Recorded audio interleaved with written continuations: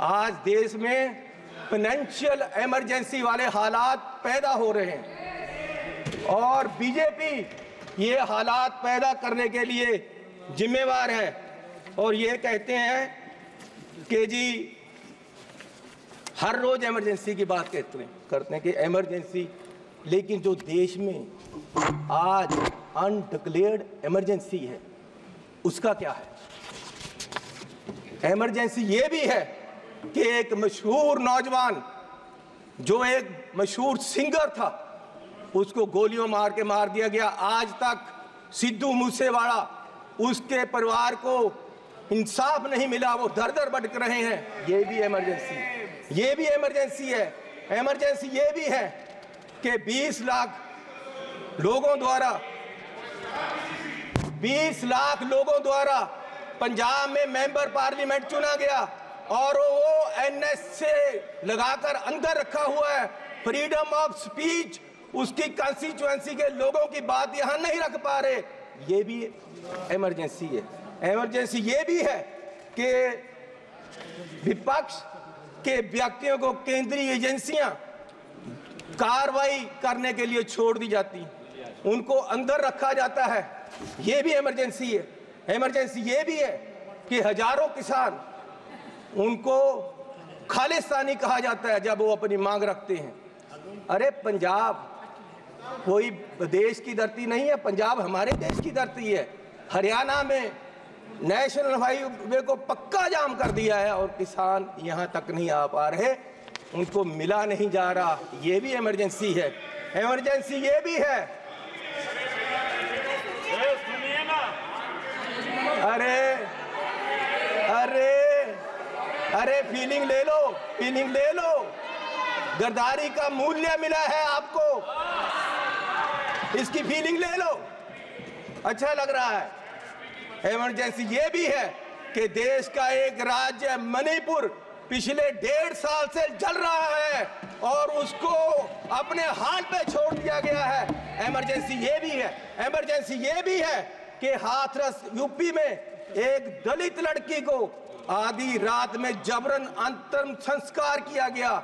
Emergency ये भी है कि मध्य प्रदेश में दलित व्यक्ति को के सिर पर, मुँह पर पेशाब कर दिया गया। इमरजेंसी ये भी है। इमरजेंसी ये भी है कि अपनी इज़्ज़त के लिए धरना दे रही महिलाओं, पहलवानों को प्रदर्शन में प्रोपोगंडा बताया गया। इमरजेंसी ये भी है। इमरजेंसी ये भी है कि कोई पत्रकार सवाल करे तो उसको जेल में डाल दिया जाता है।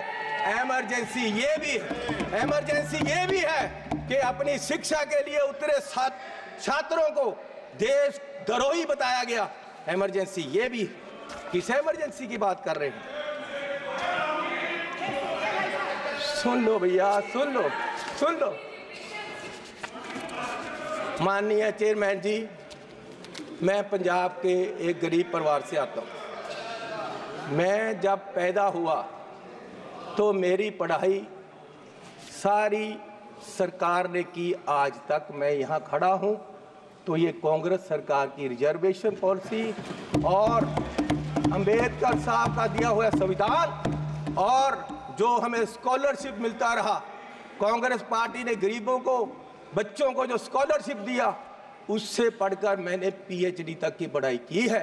और ये देन कांग्रेस पार्टी की है और जब बीजेपी सरकार 2014 में आई, सबसे पहले इन्होंने जो सबसे बुरा काम किया, वो किया स्कॉलरशिप में, जो केंद्र का 90 परसेंट हिस्सा था, उसको 60 40 की रेशो पे ले आए और दलितों के पेट पे लात मारी सरकार ने। और आज भी फ़र्स्ट क्लास से लेकर एट्थ क्लास तक के स्कॉलरशिप जो गरीब लोगों के बच्चों को मिलते थे, वो बंद कर दिए गए हैं इस सरकार द्वारा। ये दलितों के पेट पर लात मार रहे हैं। और मिनियोरिटी के भी फ़र्स्ट क्लास से एट्थ क्लास तक के स्कॉलरशिप इस सरकार के द्वारा बंद कर दिए गए बीजे, जब ये सरकार बनी 2014 में तो प्रधानमंत्री जी ने दो मापदंड देश के सामने, देश की इकोनॉमी को देखने के लिए रखे। एक रखा डॉलर की कीमत, दूसरा रखा पेट्रोल और डीजल की कीमत।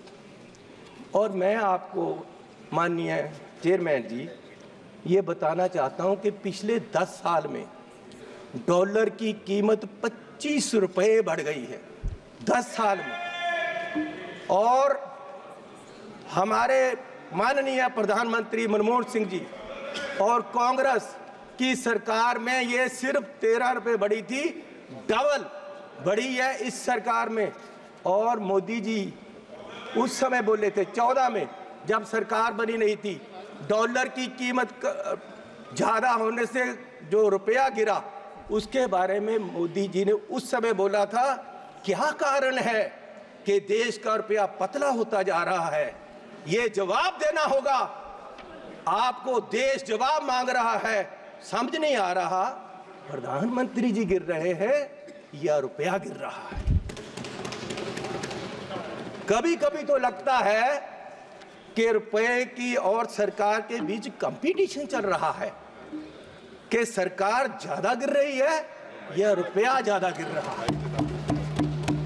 और मोदी जी ने कहा था जिस देश का रुपया कमज़ोर होता है, उस देश की सरकार कमज़ोर होती है, उस देश का प्रधानमंत्री कमज़ोर होता है। मैं आज मैं आज कहता हूँ कि आज देश का रुपया कमज़ोर हो रहा है। आज देश की इकोनॉमी डूब रही है। क्या देश का रुपया कमज़ोर हो रहा है? या प्रधानमंत्री जी कमज़ोर हो गए हैं? या देश की सरकार कमज़ोर हो रही है?